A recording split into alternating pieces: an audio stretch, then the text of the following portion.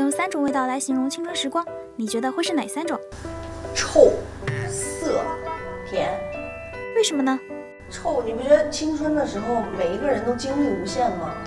感觉青春是去哪个地方都是用跑的，就不会是说像现在像大爷一样 溜达什么的，所以身上会总会一种汗臭的味道。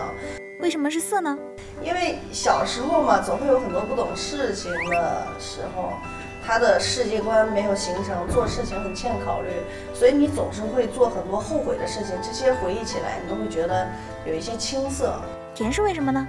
你比如说一吃某一个西红柿啊，那是小时候的味道，因为小时候吃的东西特别少，嗯，所以你吃到任何一个东西，你都觉得哎这个好好吃，那个好好吃，这个新东西没有吃过，那个新东西没有吃过。当你岁数越来越大，然后吃的东西越来越多的时候，你更怀念的是小时候那种糖果的味道。去旅行前，你最担心的事情是什么？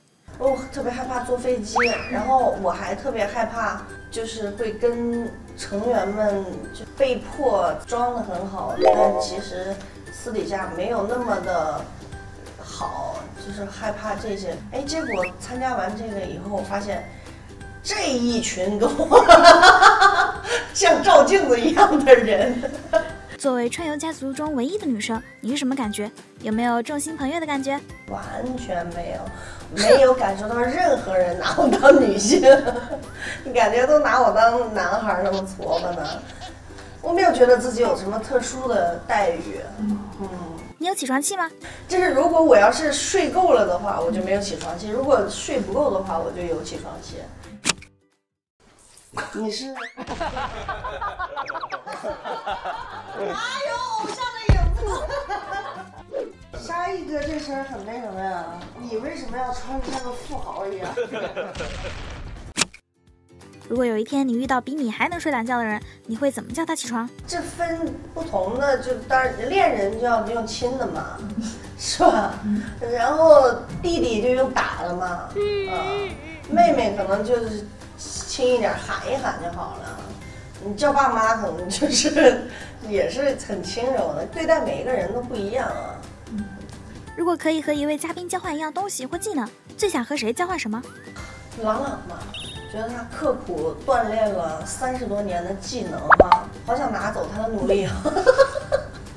平时会看自己的节目吗？很很少看自己的综艺，因为因为你有时候看你会觉得，哎呀，当时怎么这么说？当时要那么说会更好玩，就会。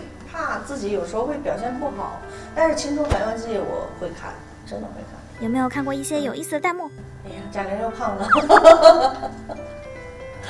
如果我自己发弹幕的话，我会发一个：贾玲虽然又胖了，但越来越可爱了。说出大家必须看《青春环游记》第二季的三个理由。我觉得你你旅行里面，如果觉得有时候跟朋友去旅行，觉得有一点没意思的话。呃，你可以看看这里面的游戏。呃，如果你觉得跟去旅行路途没有意思的话，你可以看看整档节目。就是或者你想跟你的朋友知道呃如何融洽的相处，也可以看看这档节目，因为这一些人实在是太太好了，太太可爱了。嗯。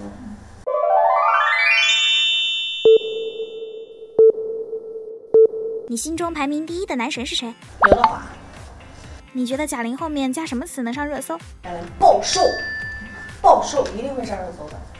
然后结果一点开，被骗了批的 批的。夏季必备的单品是什么？冰棍。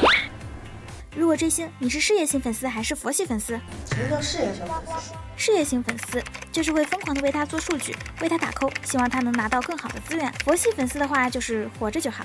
哦，活着就好，活着就好。觉得自己男粉多还是女粉多？女粉多嘛，粉丝哪有很少有男孩？呃，谁的粉丝不都是女孩居多吗？一觉醒来发现自己变成了男生，你会做什么？光膀子四处跑。对，最想拥有的超能力？单吃不胖。用一句话形容自己的美貌？怎么说来？盛世美颜。